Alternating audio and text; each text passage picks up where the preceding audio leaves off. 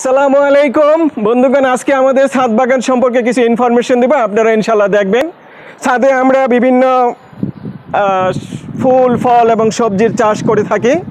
আলহামদুলিল্লাহ, মহান আল্লাহ তাআলার দরবারে লক্ষ কোটি শুক্রিয়া আদায় করছি তার দেওয়া সকল নিয়ামতের জন্য। আমরা ভালোই ফলন পাচ্ছি ছাদে, বাগান করে। আপনারা দেখতে পাচ্ছেন আমাদের একটি সবেদা গাছ, এটার ফলন আসতেছে ইনশাআল্লাহ। এই বছর ইনশাল্লাহ ফলন পাবো, আশা রাখি। আমরা সাথে বিভিন্ন রকম শাক, সবজি করে থাকি, তার মধ্যে আপনারা দেখতে পাচ্ছেন আমাদের এই পেঁপে গাছটাও আমরা আপনাদেরকে পূর্বেও আমরা দেখিয়েছি।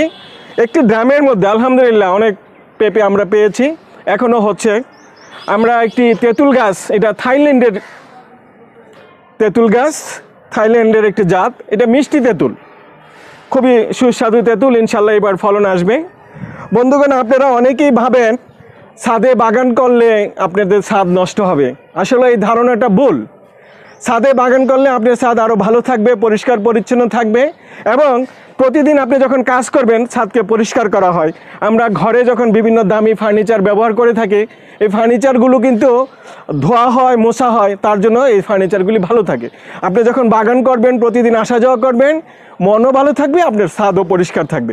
আসুন আমরা সবাই ছাদে গাছ লাগাই। আমরা ছাদে নিজেদের কাজ করার জন্য ছাদে বিভিন্ন রকমের যে ইনস্ট্রুমেন্ট লাগে, সেগুলি সবই আছে আমাদের।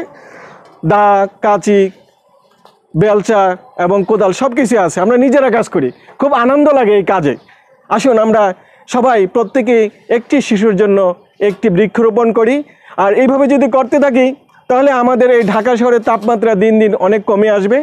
আমরা ছাদে এবং রাস্তায় যদি গাছ রোপণ করি, তাহলে ছয় থেকে দশ পার্সেন্ট তাপমাত্রা আমরা কম পাবো এবং আমাদের শিশুরা আরামে ঘুমাতে পারবে তারা শান্তিমতো বসবাস করতে পারবে। ধন্যবাদ সবাইকে আসসালামু আলাইকুম।